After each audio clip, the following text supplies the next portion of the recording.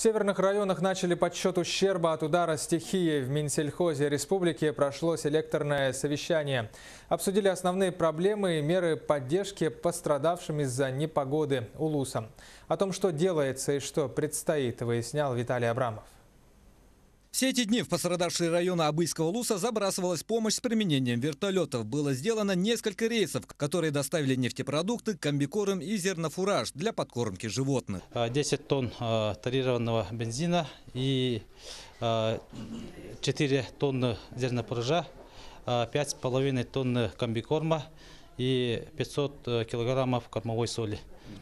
И вот э, работало два борта вертолета Ми-8. И сейчас на, на данный момент вот э, э, вертолеты э, перебазировались э, в места э, ну, один Среднеколымский, другой Верхоянский.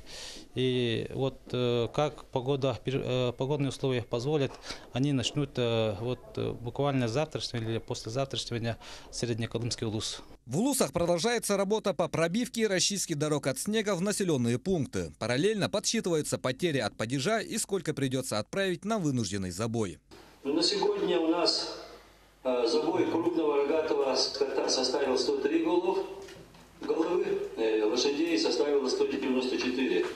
Э, На сегодня вот зафиксированных э, комиссиями ве- ветуправления и специалистов сельского хозяйства поддержка лошадей составил 12 голов. Э, На сегодняшний день забито молодняка 223 головы, э, взрослого э, значит, ремонтного э, значит, э, поголовья э, 143, 145, то есть всего э, значит, в забой проведено 368 голов.